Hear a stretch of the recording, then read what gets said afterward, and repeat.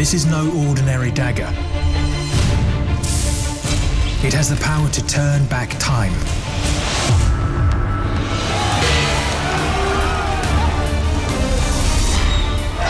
Ostrich racing. I never thought ostriches would ever end up in one of my films, but it's a hysterical sequence. They discovered this ostrich racing empire. Yeah, ostriches, the blooming ostriches. And they're really funny. They kind of walk around like this and they just follow each other around.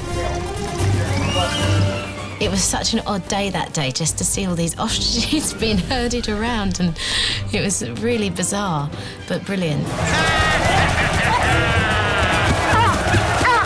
We had Moroccan horse jockeys to ride them. They were very brave chaps. It's good. It's good, Chauvet.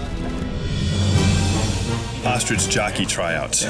So we have some birds here, we have some jockeys here, and we'll see who could ride them. It's a little different riding an ostrich. They only have two legs and they're not as stable as riding a horse, so it takes a lot of practice. Actually had some of the stunt guys riding the ostriches in this ostrich race, and they would be falling off.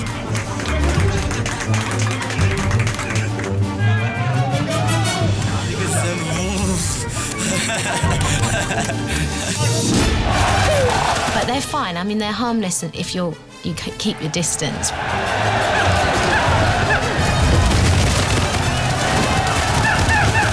It's so fun working with animals.